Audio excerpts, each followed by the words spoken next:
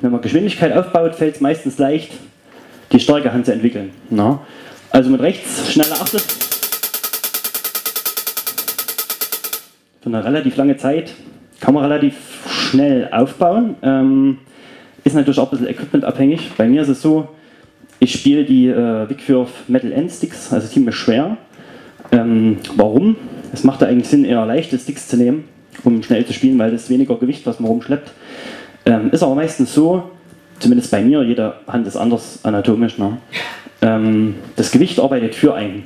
Also ruhig, wer, das, wer jetzt viel Blastbeats oder sowas spielt, auch mal schwere Sticks probieren. So, das Problem ist ja eigentlich eher die linke Hand. Na, die ist bei den Rechtshändern meistens nicht so stark entwickelt. Ähm, was kann man jetzt machen? Man will ja einerseits die rechte ein bisschen entlasten. Ähm, wenn die rechte entlastet wird, was macht man mit der linken? Ich habe dann angefangen mal zu überlegen, vielleicht kannst du irgendwelche Rudiments nutzen oder irgendwelche Patterns, um vielleicht mit der rechten mal passieren zu können, ohne aber die Achtel groß zu unterbrechen. Kleines Beispiel wäre dieser, ich sag mal, Blastbeat, den ihr jetzt hier und da mal gehört habt.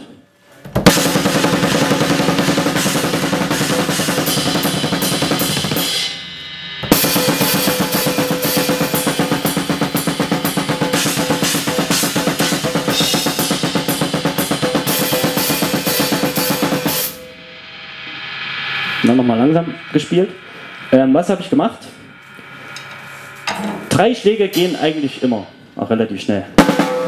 Ja, das schafft auch die meist schwächere Linke. Ähm, es gibt auch so Techniken wie die Moller, die Moller Strokes, wo im Prinzip mit einer Bewegung, sagen wir mal, des Handgelenks drei Schläge abgedeckt werden. Habt ihr vielleicht auf YouTube oder so schon mal gesehen. Ähm, es entsteht eine Wellenbewegung. Das heißt, die drei Schläge kriegt man eigentlich immerhin auch relativ schnell. Passiert relativ viel im, im, im Handgelenk. Man hat dann durch eine Lücke. Ne? Man braucht ja vier Schläge, wir haben drei.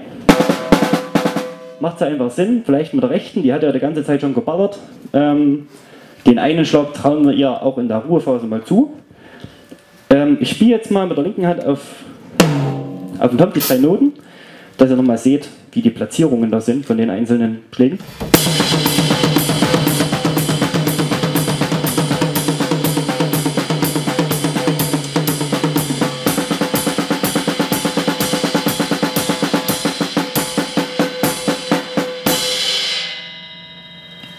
Um die Betonungen trotzdem auch rechts zu halten, ähm, muss man mit zwei linken Handschlägen, äh, mit zwei linken Schlägen anfangen. Ne? Dann hat man quasi diesen Lauf.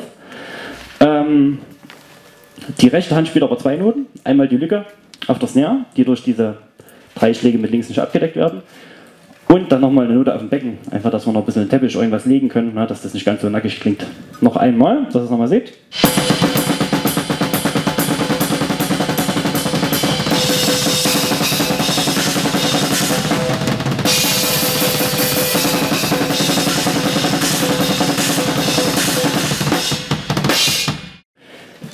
Verschiebe die Betonung jetzt einfach mal auf dem Offbeat. Ne? Klingt ein bisschen interessanter.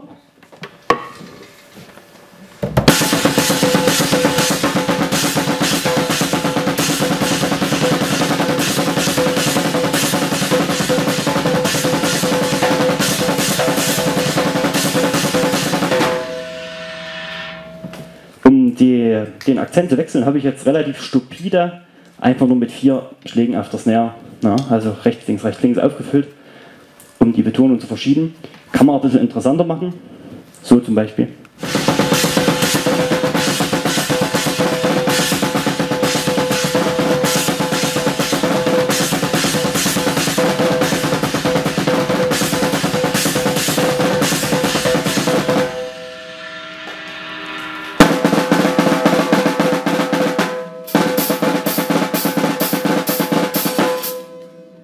Zum Beispiel solche Elemente mit reinnehmen.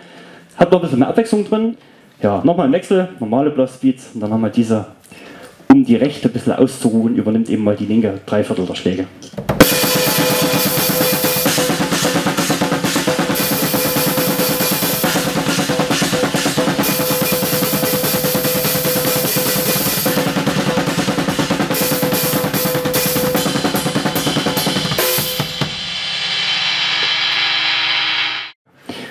Ich habe vorhin was erzählt ähm, von Triolen, die relativ interessant werden. einfach weil die bei 270 oder so hm, eine Geschwindigkeit reichen, die ganz gut schiebt, aber nicht so schnell ist wie die Achtel, die wir zum Beispiel spielen müssen der Snare. Ja. Also man hat quasi eine Ruhephase und schiebt trotzdem ein bisschen, darum geht es ja meistens in dem Bereich, um zu schieben, um Druck auszuüben. Kleines Beispiel.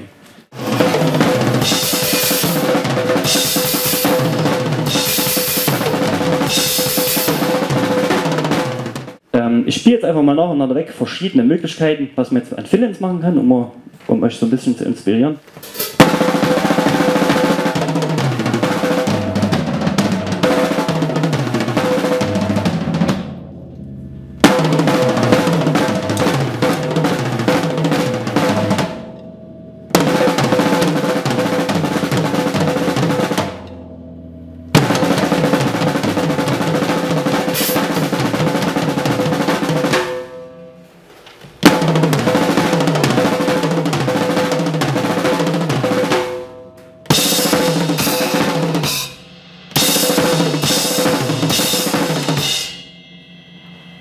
Alles mit Triolen abgedeckt.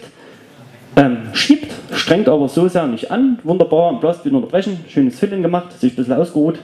Kann es weitergehen. Ähm, das Ganze kann man auch so ein bisschen zum Blastbeat umwandeln.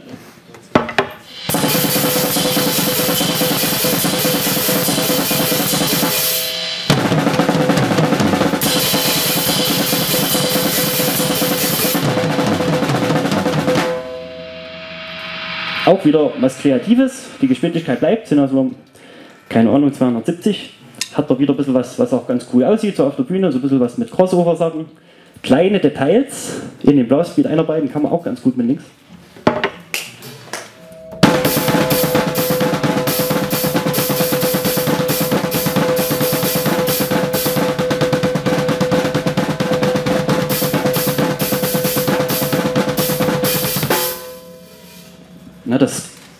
Meistens eigentlich dann die Gitarre vor, wo sich sowas anbietet, sowas einzumachen.